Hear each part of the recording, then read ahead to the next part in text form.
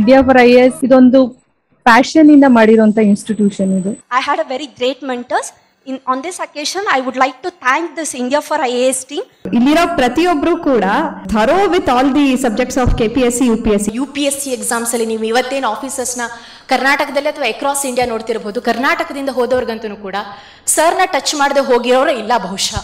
That's truth just surrender yourselves to the gurus here and get what you suppose to know you people are blessed You have an institution which caters to all your requirements.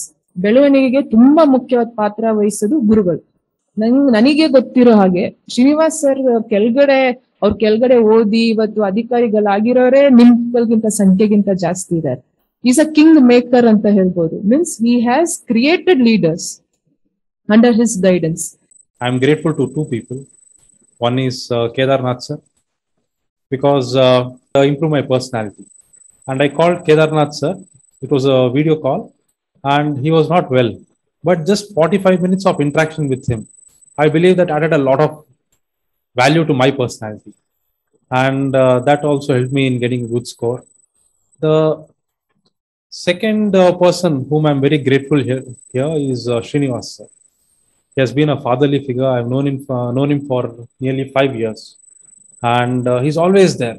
Any problem I have, I know that he's there to hold my back. So first, I would uh, thank Team India for IAS.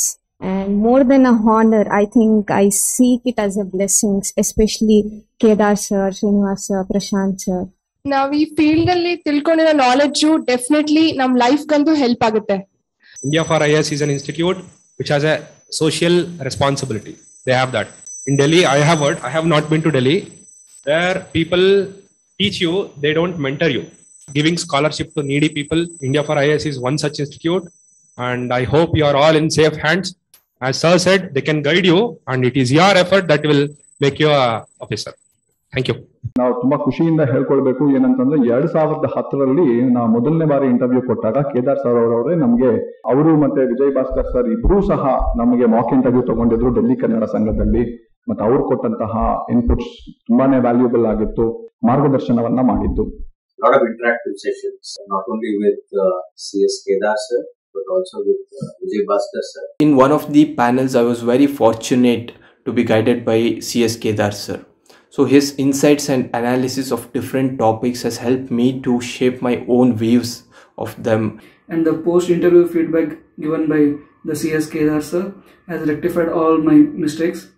So I request all the aspirants who have cleared their mains examination to utilize the interview guidance program under CSK as well. I believe that any person who has been able to reach this final phase has to take guidance from Kedar sir to make the most of this opportunity. And believe me without taking his guidance your preparation would be incomplete. Thank you. Kpsc journey early india for ies contribution. ನಾನು ನನ್ನ mains coaching ಎಲ್ಲ ಎಲ್ಲ ತೊಗೊಂಡಿದ್ದು interview guidance ಕೂಡ. ಮೇನ್ಸಲ್ಲಿ ಪ್ರತಿಯೊಂದು ಹಂತದಲ್ಲೂ ಕೂಡ mains ಇದರಲ್ಲಿ they were part of it so ನಾನು ಇಲ್ಲಿ ಕ್ಲಿಯರಾಗಿ ಇಂಟರ್ವ್ಯೂ ನನ್ನ ಮಾರ್ಕ್ಸ್ ಕಮ್ಮಿ ಆದರೂ I was able to clear it because of my mains guidance in this institution so I'm very thankful so what is your message for aspirants madam coming aspirants perseverance and determination ಇದು ಎರಡು ಇದ್ದರೆ you can achieve anything you want firstly when I thought of this journey ನಮ್ಮ ಎಲ್ಲರ ಮೈಂಡ್ಗೂ first ಬಂದಿದ್ದು ಹೆಸರು Prashant sir I met Prashant sir he was the one who introduce me India for I S team ಡೆಲ್ಲಿಗೆ ಹೋಗೋ option ಇತ್ತು but then due to various reasons like you all know distance weather climate financial constraints my option was to stay in Bangalore ಆವಾಗ ಗೊತ್ತಾಯಿತು Srinivas sir concept ಇದ್ದಿದೆ ಇದು whatever facilities is provided in Delhi ಅದನ್ನು ಬ್ಯಾಂಗ್ಳೂರಲ್ಲಿ ಕೊಡಿಸ್ಬೇಕು ಅಂತ. So at this moment I would like to thank everybody in team India for I S I S Prashant sir Srinivas sir Girija ma'am Sandeep sir Ashok sir this is a big family it's not an institution my special thanks to Prashant sir who has always been my pillar sir thank you so much He has always guided me in every way possible madam K P S C journey ಸ್ವಲ್ಪ ಭಾಳ ಕಷ್ಟ ಆಗಿತ್ತು. ಯಾಕಂತ ಹೇಳಿದರೆ K P S C ಒಂದು whole notification ಆದರೆ end ಆಗಬೇಕಂದ್ರೆ ಒಂದು ಮೂರು ವರ್ಷ ಆಗುತ್ತೆ. ಮೂರು ವರ್ಷದಲ್ಲಿ ಪೇಷನ್ಸ್ ಚೆಕ್ ಮಾಡ್ತಾರೆ ನಮ್ಮದು ಹಾರ್ಡ್ ವರ್ಕು ಪ್ರಿಸರ್ವೆನ್ಸ್ ಎಲ್ಲ ಡೆಡಿಕೇಶನ್ ಎಲ್ಲ ಥರ ಇರಬೇಕು madam so India for I A S ಅಂತ ಹೇಳಿದರೆ, ನಾನು from prelims mains and interview throughout my K S journey India for I S ಜೊತೆಗೆ ಕನೆಕ್ಟೆಡ್ ಆಗಿದ್ದೀನಿ ನಾನು. Especially at the time of mains India for I S ಅಲ್ಲಿ ನನಗೆ K S ಕದನ ಅಂತ ಮೇನ್ಸ್ ಮಾಡಿದರು. I think they have conducted around forty five test in that ನಾನು ಒಂದು ನಲ್ವತ್ತು ಟೆಸ್ಟ್ ಬರೆದಿದ್ದೇನೆ.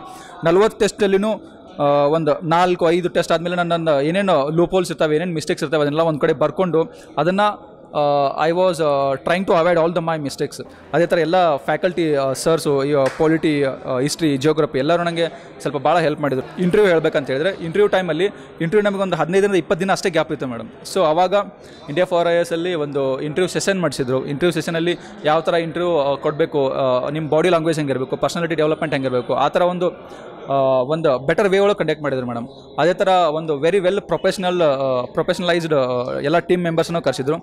So with respect to interview also it was really good and I am really grateful to India for I S India for I S whole team and ಅದೇ ಥರ India for I S even non teaching staff also at the time of interview ಅವರು ಭಾಳ help ಮಾಡಿದರು.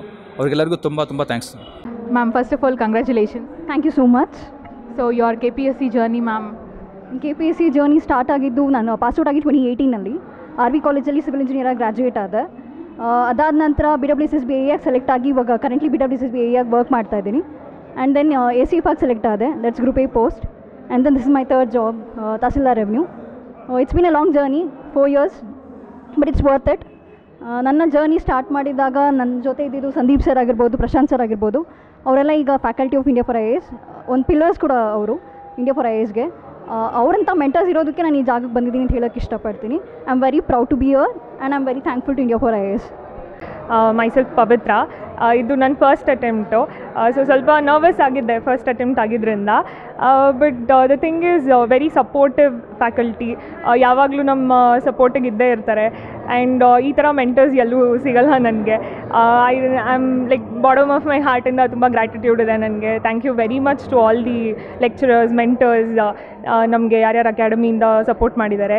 ಬರೋ ಆಸ್ಪಿರೆಂಟ್ಸ್ಗೆ the thing is ಇಲ್ಲಿ ಈ ಜರ್ನಿಯಲ್ಲಿ there is a lot of ಅಂದರೆ frustration ಇರುತ್ತೆ ಡಿಪ್ರೆಷನ್ ಇರುತ್ತೆ. It is a part and parcel of journey but the thing is result ಬಗ್ಗೆ ಯೋಚನೆ ಮಾಡಿದೆ ಜಸ್ಟ್ ಸ್ಟಡಿ ಅದು ಬಂದೇ ಹೇಳೋದಕ್ಕೆ ಇಷ್ಟಪಡ್ತೀನಿ. ಜಸ್ಟ್ ಗೋ ಆನ್ ಸ್ಟಡಿ ಅಷ್ಟೇ. ನಾನು ಆ್ಯಕ್ಚುಲಿ ಟೂ ತೌಸಂಡ್ ಟ್ವೆಂಟಿಯಿಂದ ಪ್ರಿಪ್ರೇಷನ್ ಸ್ಟಾರ್ಟ್ ಮಾಡಿದೆ. So journey was very tough actually ನಾನು ಟೆಕ್ನಲ್ ಟೆಕ್ನಿಕಲ್ ಬ್ಯಾಕ್ಗ್ರೌಂಡಿಂದ ಬಂದಿರೋದು. ನಾನು ಎಂ ಟೆಕ್ ಮಾಡಿಕೊಂಡು ಸ್ವಲ್ಪ ವರ್ಷ ಜಾಬ್ ಮಾಡಿ, ಆಮೇಲೆ ಸಡನ್ನಾಗಿ ಒಂದು ಯಾವುದೋ ಮೂಮೆಂಟ್ ಪ್ರಿಪೇರ್ ಆಗ್ತೀನಿ ಅಂತ ಎಲ್ಲ ಬಿಟ್ಟು ಪ್ರಿಪ್ರೇಷನ್ ಸ್ಟಾರ್ಟ್ ಮಾಡಿದೆ. ಕೋಚಿಂಗ್ ಇನ್ಸ್ಟಿಟ್ಯೂಟ್ಸ್ ಮತ್ತು ಮಟೀರಿಯಲ್ಸ್ ರೈಟ್ ಕೈಂಡ್ ಆಫ್ ಗೈಡೆನ್ಸಿಂದ ಈಸಿ ಆಯಿತು. ನನ್ನ ಫಸ್ಟ್ ಅಟೆಂಪ್ಟಲ್ಲೇ ನನಗೆ ತಹಶೀಲ್ದಾರ್ ಹುದ್ದೆ ಬಂದಿದೆ. So it's really good for me ನಾನು ಬೇಸಿಕಲಿ ಯು ಪಿ ಎಸ್ ಸಿಗೆ ಅಂತ ಪ್ರಿಪೇರ್ ಆಗ್ತಿದೆ so K P S C ಬಗ್ಗೆ ನಂಗೆ ಅಷ್ಟೊಂದು ಐಡಿಯಾ ಇರಲಿಲ್ಲ. ಹೇಗೆ ನೋಟ್ಸ್ ಏನು ಯಾವ ರೀತಿ ಇರಬೇಕು ಅದೆಲ್ಲ. ಸೊ ನಾನು ಪ್ರಿಲಿಮ್ಸ್ ಪಾಸ್ ಆದ ತಕ್ಷಣ ಫಸ್ಟ್ ಅಪ್ರೋಚ್ ಮಾಡಿದ್ದು ಇಂಡಿಯಾ ಫಾರ್ ಐ ಎಸ್ಗೆ ನನಗೆ ಮೇನ್ಸ್ ಬರೆಯೋಕ್ಕೆ ಸ್ವಲ್ಪ ಹೆಲ್ಪ್ ಮಾಡಿಕೊಡಿ ಅಂತ. ಸೊ ಮೇನ್ಸ್ ನಾನಲ್ಲಿ ಮಾಕ್ ತೊಗೊಂಡೆ. ಸೊ ಅವರು K P S C Kadana ಅಂತ ಒಂದು ಟೆಸ್ಟ್ ಸೀರೀಸ್ ಸ್ಟಾರ್ಟ್ ಮಾಡಿದರು. ಸೊ ಆ ಟೆಸ್ಟ್ ಸೀರೀಸ್ ಬರದೆ. ಸೊ ಮತ್ತು ಮಾಕ್ ಇಂಟರ್ವ್ಯೂ ಕೂಡ ಗೈಡೆನ್ಸ್ ಚೆನ್ನಾಗಿ ಸಿಕ್ತು. So overall India for I ಎಸ್ದು contribution ತುಂಬಾ ಇದೆ. I am very grateful to the institution in this journey ma'am India for I A S is one of the youngest institutions ಈ ಫೀಲ್ಡಲ್ಲಿ ನೋಡಬೇಕು ಅಂತಂದರೆ. But ಅವರು ಈಗಾಗಲೇ ಇರೋ ಎಲ್ಲ ಇನ್ಸ್ಟಿಟ್ಯೂಟ್ಸ್ನು ಓವರ್ಟೇಕ್ ಮಾಡ್ಕೊಂಡು ಹೊಟ್ಟೋಗ್ಬಿಟ್ಟಿದ್ದಾರೆ ಸೊ ತುಂಬ ಒಳ್ಳೊಳ್ಳೆ ಫ್ಯಾಕಲ್ಟಿ ಮೆಂಬರ್ಸ್ ಇದ್ದಾರೆ ಅಲ್ಲಿ. ಮತ್ತು ತುಂಬ ಒಳ್ಳೆ ಒಂದು ಟೆಸ್ಟ್ ಸೀರೀಸ್ಗಿರ್ಬೋದು ಅಥವಾ ಮಾಕ್ ಟೆಸ್ಟ್ಸ್ಗಿರ್ಬೋದು ಅವ್ರಿಗೆ ಕೊಡ್ತಿದ್ದಂಥ value addition materials current affairs materials ಎಲ್ಲ ತುಂಬ ತುಂಬ ಕ್ವಾಲಿಟಿ ಮೆಟೀರಿಯಲ್ಸ್ ಇತ್ತು. ಸೊ ತುಂಬಾ ಒಂದು ಮೇಜರ್ ರೋಲ್ ಇದೆ ಮೇಡಮ್ ನಂದು ಈ ಜರ್ನಿನಲ್ಲಿ ಅವ್ರದ್ದು ಸಿ ಆ್ಯಕ್ಚುಲಿ ನನಗೆ journey with India for I S started with the mains preparation so ತುಂಬ ನ್ಯೂ ಇನ್ಸ್ಟಿಟ್ಯೂಟ್ ಆದ್ದರಿಂದ ಕೆ ಎಸ್ ಪ್ರಿಪ್ರೇಷನ್ ತುಂಬಾ long it's been nearly more than one and half year mains exam ಬರೆದು ನಾವು. So ಆಗ್ಲಿಂದನೇ like ಮೇನ್ಸಲ್ಲಿ person to person ತುಂಬಾ guide ಮಾಡಿದ್ರು. And also for the interview ಆ proper guidance was really helpful to get in to the I mean today standing year or getting a good mark in the mains also my special thanks to India for I S the whole team India for I S ಇದ್ರ ಬಗ್ಗೆ ಹೇಳ್ಬೇಕಂದ್ರೆ ನಾನು ಇದನ್ನ ಯಾವತ್ತು institutions ಅಂತ ನೋಡೇ ಇಲ್ಲ. ಇದೊಂಥರ ಸಹ ಕುಟುಂಬ ಅಂತ ಹೇಳಕ್ ಇಷ್ಟಪಡ್ತೀನಿ. ಯಾಕಂದ್ರೆ ಶ್ರೀನಿವಾಸ್ ಸರ್ ಬಗ್ಗೆ ಒಂದು ಮಾತು ಹೇಳಬೇಕು. ನಾನು ಯು ಪಿ ಎಸ್ ಅಲ್ಲಿ ಎರಡ್ ಸಾವಿರ ಇಪ್ಪತ್ತರಲ್ಲಿ ಇಂಟರ್ವ್ಯೂ ಸೆಲೆಕ್ಟ್ ಆಗಿತ್ತು ನನಗೆ. ಡೆಲ್ಲಿಗೆ ಹೋಗ್ತಾ ಇದ್ದೆ. ನಾನು ಫಸ್ಟ್ ಟೈಮ್ ಫ್ಲೈಟ್ ಜರ್ನಿ ಮಾಡ್ತಾ ಇರೋದು. ಸರ್ ಹೇಳಿದೆ ಸರ್ ನೆನಪಿದೆಯಲ್ಲ ಗೊತ್ತಿಲ್ಲ. ಯಾಕಂದ್ರೆ ನಮ್ಮಂಥ ಸಾಕಷ್ಟು ವಿದ್ಯಾರ್ಥಿಗಳು ಅವ್ರ ಕಡೆಯಿಂದ ಗೈಡೆನ್ಸ್ ತಗೋತಿದ್ದಾರೆ. ಅವಾಗ ನಾನು ಹೇಳಿದೆ ಸರ್ ನಾನು ಡೆಲ್ಲಿಗೆ ಹೋಗ್ಬೇಕು ಸರ್? ಹಿಂಗಿಂಗೆ ನನಗೆ ಏನೋ ಗೊತ್ತಿಲ್ಲ. ಸರ್ ಒಂದು ಮಾತು ಹೇಳಿದ್ರು. ಕೆಂಪೇಗೌಡ ಬ ಏರ್ಪೋರ್ಟ್ ಇಂದ ಇಲ್ಲಿಂದ ಹೋಗಿ ಅಲ್ಲಿಂದ ವಾಪಸ್ ಕೆಂಪೇಗೌಡ ಏರ್ಪೋರ್ಟ್ ಬರೋ ತನಕ ಏನಾದರೂ ಸಮಸ್ಯೆ ನನಗೆ ಕಾಲ್ ಮಾಡಂತ. ಅದ್ರ ಅರ್ಥ ಏನಂದ್ರೆ ಅವರು ಕೇವಲ ಗೈಡೆನ್ಸ್ ಅಷ್ಟಲ್ಲ ಒಂದು ಸಹ ಕುಟುಂಬ ಥರ ಒಂದು ಫೀಲ್ ಮಾಡ್ತಾ ಇದ್ದಾರೆ ಸೊ ಅದಕ್ಕೆ ಯಾವತ್ತೂ ಚಿರೋನಿ ಸರ್ ನಿಮಗೆ. ಇನ್ನೊಂದು ಇನ್ಸಿಡೆಂಟ್ ಅಂದ್ರೆ ನಾನು U P S C mains ಬರೆದ ತಕ್ಷಣ K P S C mains ಇತ್ತು, ಎಲ್ರಿಗೂ ಗೊತ್ತಿತ್ತು, ಒಂದು ಮಂತ್ ಟೈಮ್ ಇತ್ತು. ಆ ಟೈಮಲ್ಲಿ ಆಲ್ಮೋಸ್ಟ್ ಸೇಮ್ ಸಿಲೆಬಸ್ ಇರುತ್ತೆ. ಆದರೂ ಕೆಲವೊಂದು ಯು ಪಿ ಎಸ್ ಸಿ ಬರಿದಾ ಇರತಕ್ಕಂಥ ಕೆಲವೊಂದು ಸ್ಟೈಲು ಸ್ಟ್ರಕ್ಚರು ಕಂಟೆಂಟು ಬೇರೆ ಪೇಪರ್ಗೆ ಡಿಮ್ಯಾಂಡ್ ಬೇರೆ ಇರುತ್ತೆ ಕೆ ಪಿ ಎಸ್ ಸಿಗೆ ಅವಾಗ ಬಂದು ನಾನು ಫಸ್ಟ್ ಮೀಟ್ ಆಗಿದ್ದು ಇಂಡಿಯಾ ಫಾರ್ ಐ ಎಸ್ ನಾನು ಒಂದೇ ಒಂದು ಟೆಸ್ಟ್ ಸಿರೀಸು ಅಂದರೆ ಅವಾಗ I think only one institution free of test series ಕೊಟ್ಟಿದ್ದು ಕೆ ಪಿ ಎಸ್ಗೆ ಒಂದೇ ಒಂದು ಇನ್ಸ್ಟಿಟ್ಯೂಷನ್ ಅನ್ಸುತ್ತೆ. ಯು ಪಿ ಎಸ್ ಸಿಯಿಂದ ಕೆ ಪಿ ಎಸ್ ಸಿಗೆ ಒಂದು ಒಂದು ಗ್ಯಾಪಲ್ಲಿ one ten test series free ಆಗಿ ಕೊಟ್ಟಿದ್ರು. ಆ ಫ್ರೀ ಟೆಸ್ಟ್ ಸೀರೀಸ್ ತುಂಬ ಯೂಸ್ ಮಾಡಿಕೊಂಡೆ. So India for I A S ಅನ್ನೋದು ಒಂದು ಇನ್ಸ್ಟಿಟ್ಯೂಷನ್ ಅಲ್ಲ, ಒಂದು ಫ್ಯಾಮಿಲಿ ಅಂತ ಹೇಳ್ತಾ. ನನ್ನ ಎರಡು ಅನುಭವಗಳನ್ನ ನಿಮ್ಮೆಲ್ಲರ ಜೊತೆ ಹಂಚಿಕೊಳ್ಳಿಕ್ಕೆ ಅವಕಾಶ ಮಾಡಿಕೊಟ್ಟಿದ್ದಾರೆ ಎಂದು ಹೇಳ್ತಾ, ಅವರಿಗೆ ಮತ್ತು ಸಂಸ್ಥೆ ಎಲ್ಲರಿಗೂ ನನ್ನ ಎರಡು ಮಾತುಗಳನ್ನ ಮುಗಿಸ್ಲಿಕ್ಕೆ ಧನ್ಯವಾದಗಳು ಸೊ ಇನ್ಸ್ಟಿಟ್ಯೂಟ್ ಅಲ್ಲಿ ಒಂದು ವಂಡರ್ಫುಲ್ ನೋಟ್ಸ್ ರೆಡಿ ಮಾಡಿ ಇವನ್ ಕನ್ನಡ ಪ್ಲಸ್ ಇಂಗ್ಲಿಷ್ ಎರಡರಲ್ಲೇ ಕೊಡ್ತಾರೆ. ಅದ್ರ ಬಗ್ಗೆ ಕ್ಲಾಸು ಆಗುತ್ತೆ. You are very fortunate in India for I S ಅಲ್ಲಿದ್ದು ಒಂದು, ಈ ತರ ಒಂದು ಒಳ್ಳೆ ಎಜುಕೇಶನ್ ಒಂದು ವೆರಿ ನಾಲೆಜಬಲ್ ಪರ್ಸನ್ಸ್ ಇಂದ ನಿಮ್ಗೊಂದು ಮಟೀರಿಯಲ್ ಸಿಗುತ್ತೆ ನಾಲೆಜ್ ನೀವು ಒಂದು ಕರೆಕ್ಟ್ ಆಗಿ ಪ್ಲಾನಿಂಗ್ ಮಾಡ್ಕೊಂಡೆ ಹೋಗ್ಲಿಲ್ಲ ಅಂದ್ರೆ ನಿಮ್ಮ ಹತ್ರ ಏನೇ ರಿಸೋರ್ಸಸ್ ಇದ್ರು ನೀವು ಎಷ್ಟೇ ಓದಿದ್ರು ಕರೆಕ್ಟ್ ಆಗಿ ಪ್ಲಾನ್ಡ್ ಇಲ್ಲ ಹಂಗಂತ ಅಂದ್ರೆ you end up failing okay there's a very important saying if you fail to plan then you plan to fail okay so to make sure that ನಿಮ್ದು ಪ್ಲಾನಿಂಗ್ ಅಲ್ಲಿ ಏನು ಸಮಸ್ಯೆ ಆಗ್ಬಾರ್ದಂಗ ಅಂತ ಇಂಡಿಯಾ ಫಾರ್ ಐ ಎಸ್ ಅಲ್ಲಿ definitely they plan out different strategies they give you timeline ಯಾವ time ಇಂದ ಯಾವ ಟೈಮ್ ಇಂದ ಏನೇನ್ ಓದ್ಬೇಕು ಯಾವ್ಯಾವ ತರ ಓದ್ಬೇಕು, ಏನೇನ್ ಓದ್ಬಾರ್ದು. ಸೊ ಇವೆಲ್ಲ ಅಂಶಗಳನ್ನು ನೀವು ಇದನ್ನ ಇದನ್ನ ಇಟ್ಕೊಂಡು ನಿಮ್ಮನ್ನ ನೀವೇ ಸೆಲ್ಫ್ ಇಂಪ್ರೂವೈಸ್ ಮಾಡ್ಕೊಂಡು, ಇವ್ರು ಕೂಡ ಟೆಸ್ಟ್ ಗಳನ್ನ ಎಲ್ಲ ಸಿನ್ಸಿಯರ್ ಆಗಿ ತಗೊಂಡು ಪ್ರಾಕ್ಟೀಸ್ ಮಾಡಿ ಮುನ್ನುಗ್ಗಿ, ಆಯ್ತಾ?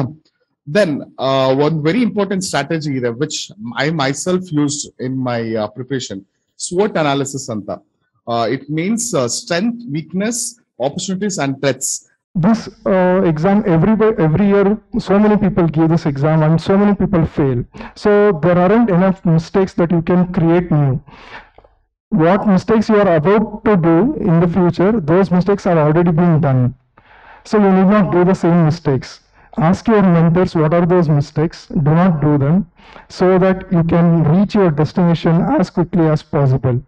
So be proactive in approaching your mentors because one misstep or one wrong choice it will cost you an year